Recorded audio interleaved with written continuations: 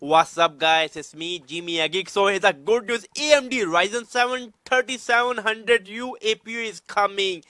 I love the AMD Ryzen, I mean 52500U on in my Huawei MateBook D uh, 14 I mean uh, 14 inch uh, version. I love it. I've done a lot of gameplay. I think I already started uploading the gameplay. I mean even I own the Surface Book 2 with the i7 I mean 8th generation. But for the value of money for especially for gaming I mean the AMD Ryzen 5 2500U is a killer. But now we are going to get a AMD Ryzen 7 3700U in a 1 kilo in a 1 kilo laptop. 1 kilo which is like 2.2 pounds I mean.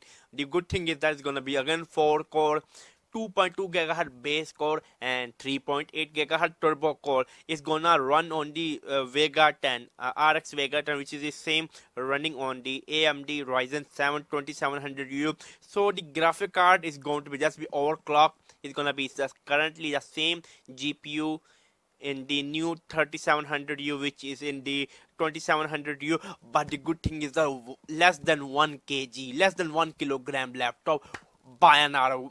I mean, you're talking about the netbook now. I mean, if you don't know, netbook normally weight around one kilogram or 2.2 pound. All of my American viewer. Now we are talking something serious. I'm gaming on the go. I mean, I mean, Vega 8 is a very solid graphic card. Even it runs GTA 4, Hitman Absolution, a lot of modern game run absolutely no problem. I done a lot of gameplay for you. I mean, I, I, I done for the Yoga book, Surface Book 2, GTX 1050 gameplay also coming.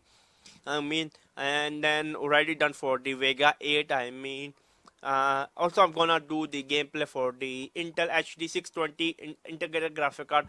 You see, I'm so busy. I do a lot of stuff for you, but I'm excited. I'm excited. AMD, AMD, you are back in the game. I love you, AMD. I'm super happy for you.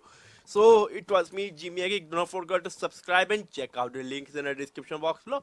Bye. Yeah. Make sure to subscribe, okay? It's my order. Bye.